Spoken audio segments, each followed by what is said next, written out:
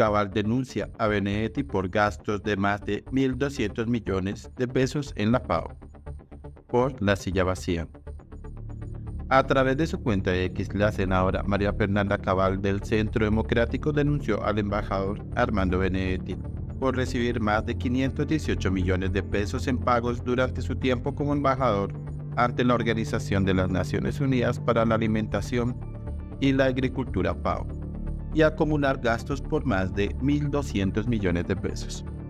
Además, recordó que Benedetti enfrenta investigaciones por delitos como enriquecimiento ilícito y tráfico de influencias. Cabal criticó la permanencia de Benedetti en su cargo, a pesar de que el ex canciller Álvaro Leiva y miembros del pacto histórico habían apoyado su salida cuando era embajador en Venezuela. La senadora cuestionó la coherencia del gobierno en este tema, señalando que tanto Benedetti permanece en su puesto como embajador, ahora en Roma, ante la PAO.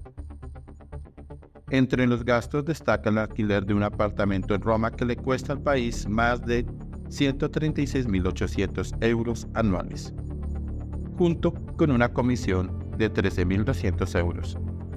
Además, Benedetti realizó el alquiler de un vehículo por cuatro días con un costo de más de 15 millones de pesos, lo que ha generado indignación.